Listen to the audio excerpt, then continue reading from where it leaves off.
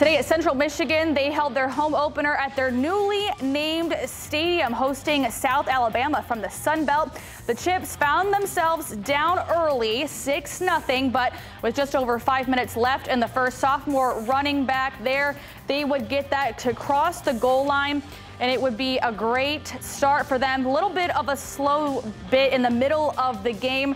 They were now we're going to jump to the fourth quarter. Central trailed by 28. Marion Lukes gets the handoff, breaks some ankles, goes 10 yards to the house for the score there. It's 38 to 16. Just two minutes later, they're back in the red zone. Daniel Richardson here finds Joel Wilson a 21-yard strike makes it a two-score game, but the electric plays on offense were a little too late. Central Michigan falls to South Alabama 38 to 24. The Chips 0-2, but looking to earn a win when they host Bucknell next week.